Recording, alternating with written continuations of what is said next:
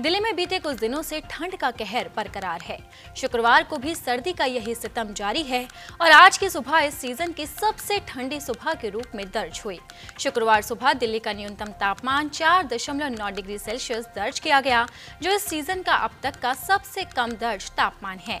ये सामान्य से चार डिग्री कम है। वही स्काईमेट वेदर के अनुसार महीने के तीसरे और चौथे हफ़्ते में सर्दी जोरदार पकड़ सकती है।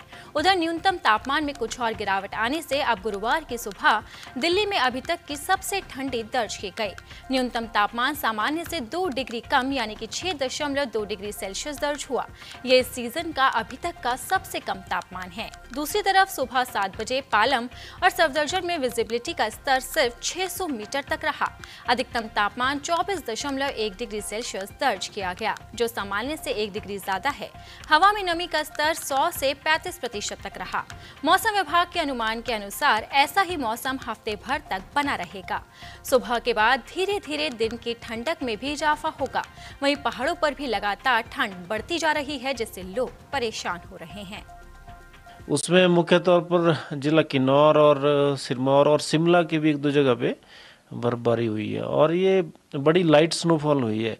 इसमें कल्पा, सांगला और इधर चूड़धार जो है सिरमौर ज़िले में, और शिमला का भी जो ऊपर के एरिए हैं, जैसे खड़ा पत्थर, वहाँ पे हल्का स्नोफॉल जो है देखने को मिला है। और, आने वाले दिनों में फिर एक पश्चिमी विक्षोभ जो है हल्का सा आएगा पंद्रह और सोलह के आसपास। वो फिर से जो है प्रदेश के ऊपरी क्षेत्रों, जैसे इसमें लाहौल स्पीति किन्नौर, शिमला, सिरमौर, इनके जो ऊंचाई वाले क्षेत्र हैं, वहाँ पे हल्की स्नोफॉल हो सकती है। बाकी प्रदेश में, ज़्यादातर एरियाज़ में मौसम ठीक रहेगा, साफ़ रहेगा।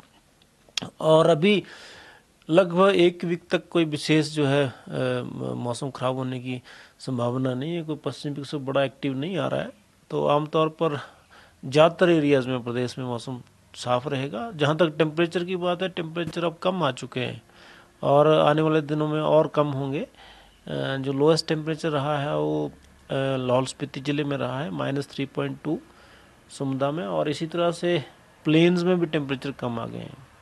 शिमला का टेम्परेचर थ्री पॉइंट टू है और जो सुंदरनगर है सोलन है जो कि जो प्लेन्स पंजाब के साथ इलाके लगते हैं वहाँ पे टेम्परेचर भी काफ़ी कम आ चुके हैं। सर एयर क्वालिटी की बात की जाए पिछले प्लेन में अब से शुरू हो गया है और हिमाचल प्रदेश में एयर क्वालिटी यहाँ काफ़ी बेहतर है क्योंकि हिमाचल प्रदेश की एयर क्वालिटी काफ़ी ठीक रहती है, खासकर जो मिड हिल्स के ज़िले हैं, जिसमें शिमला, मंडी, कुल्लू, कांगड़ा, इन इलाकों में एयर क्वालिटी की बड़ी समस्या नहीं है। सिर्फ़ जो है पंजाब के साथ जो ज़िले लगते हैं, जिसमें ऊना है, हमीरपुर है सोलन है, इन जगह पे कुछ एयर क्वालिटी थोड़ी सी ख़राब होती है। लेकिन अभी जो है, क्योंकि डब्ल्यू डी बीच बीच में आ रहे हैं तो क्लाउड फॉर्मेशन से भी जो है एयर क्वालिटी में इम्प्रूवमेंट आता है।